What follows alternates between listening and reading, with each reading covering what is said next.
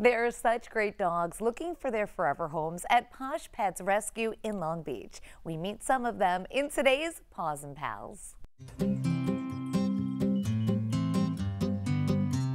Meet Kiwi. This beautiful girl is 15 weeks old. Kiwi is 23 pounds now, so will likely be a good sized pup. Like all puppies, she needs help with her house training skills, but is eager to please and a fast learner. She loves exploring and then taking a good nap. Her eyes make me melt. This is Tiger Lily. This sweet, calm, shy, golden eyed girl is a petite 18 pounds and between 3 and 4 years old. She loves belly rubs to be cuddled and is great with both dogs and cats, and of course, all humans. Introducing Odin. This two year old boy is about 70 pounds. He loves the water. His favorite things include going for a swim and playing with his toys in a wading pool.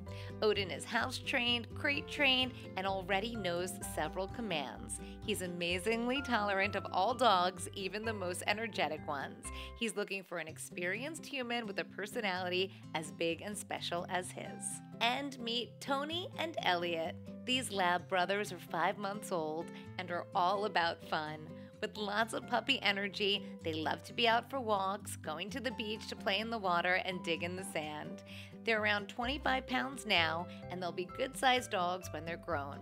They'll need lots of exercise and, of course, some puppy training.